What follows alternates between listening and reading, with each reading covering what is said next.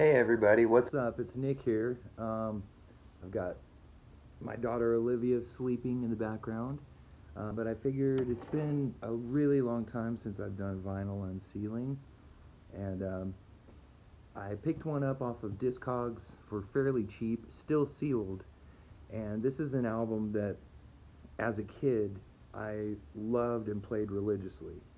Um, it's the soundtrack of a uh, stage production uh, that started in 1967, I believe, and I know the the album was released in 1967, and it's uh, for the stage production of Charlie Brown's "You're a Good Man, Charlie Brown."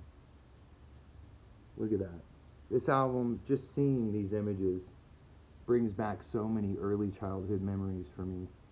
Um, and so I have a six-year-old boy now and a little month-year-old girl, and uh, having these babies around has really made me kind of look back on my childhood and kind of, you know, pick bits and pieces and parts of my childhood that I want to to bring back and impart to my little kids. So here we go. I'm going to do the jeans friction method.